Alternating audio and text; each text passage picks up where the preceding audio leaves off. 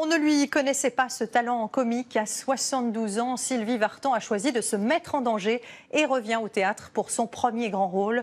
Dans Ne me regardez pas comme ça, elle incarne une ancienne star de cinéma sur le point d'écrire ses mémoires.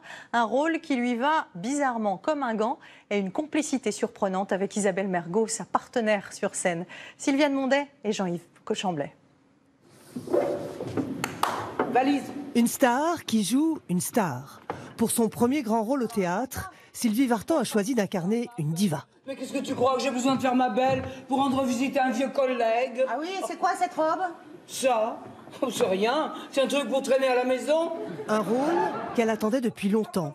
Quand Isabelle Mergot, l'auteur, lui a envoyé ce texte, la réponse fut immédiate. Elle nous a appelés, mais deux heures plus tard. Et elle a dit oui c'est super, euh, c'est vraiment ce que j'ai reçu de meilleur, je veux faire de la scène, je veux faire ça. Puis elle a, annulé tout ce qu'elle devait faire, puis elle est montée à Paris. Ma c'est vous Ma c'est moi. Ma c'est elle. Mamma mia Oh bon non là vous en faites trop hein. Encore un homme sur mes pieds. Ah, ça y est, la table, je l'ai calée. J'ai toujours joué en fait. Quand j'étais enfant, toute seule, euh, je ne parlais pas encore le français, j'allais à l'école, j'étais extrêmement timide.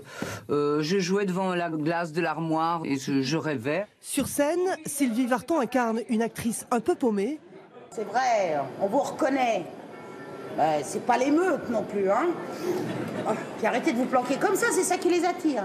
Non mais je ne veux pas prendre le risque que mes photos paraissent sur leur nouveau truc, là, Internet et Google.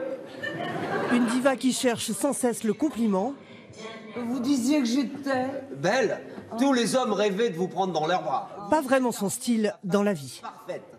Fragile et forte. Je n'aime pas me mettre en avant. Je, bon, j'ai une vie assez euh, calme et euh, familiale. Et pour les gens timides, c'est extraordinaire de pouvoir se camper derrière euh, un personnage et l'interpréter, quoi. Une vocation de comédienne, jusque-là endormie, qui s'est enfin réveillée.